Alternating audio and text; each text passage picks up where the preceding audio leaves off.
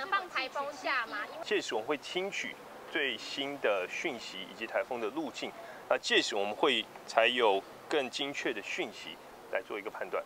前面帮我让一下哦。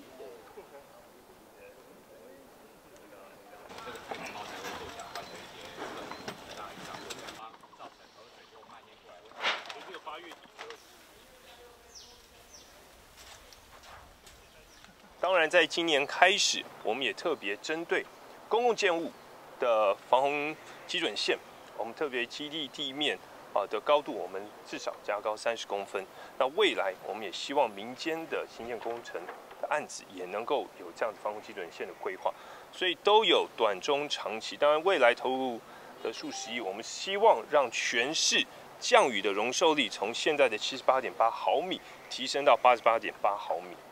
那可能放台风假吗？因为这个周三、周四看起来台风离呃。我们今天下午会进入到 EOC 啊，由我亲自主持的防台准备会议。届时我们会听取最新的讯息以及台风的路径，那届时我们会才有更精确的讯息来做一个判断。